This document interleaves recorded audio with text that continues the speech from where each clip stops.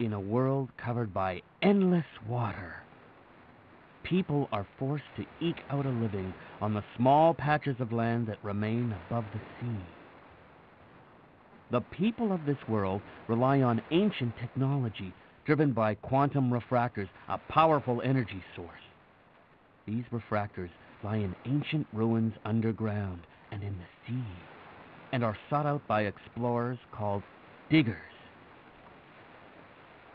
These brave explorers are the sole source of refractor energy, which has become a cornerstone of the emerging civilization. Originally, this was the diggers' only purpose to find refractors so that civilization might endure. However, over the years, the story of a fabulous treasure, the legendary Mother Lode, began to be whispered among the diggers. The Mother Lode, a treasure so great that if it were discovered, it would provide so much power that the world never need fear running out of energy.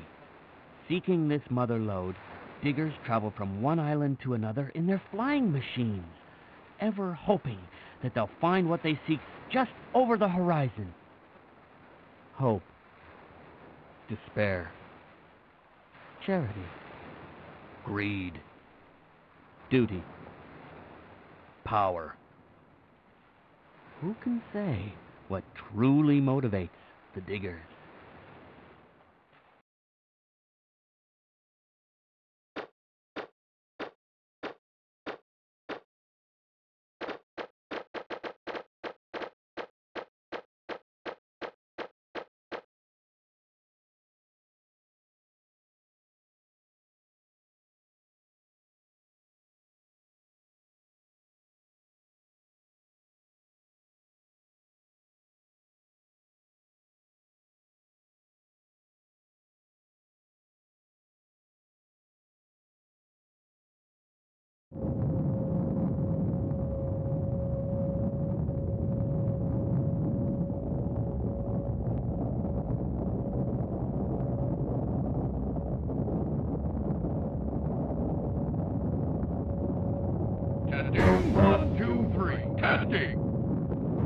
All right, listen up. Drop everything and give me your undivided attention. In about an hour, we'll be arriving at our destination, Kattelox Island. Double check your equipment readings and make sure everything's in working order.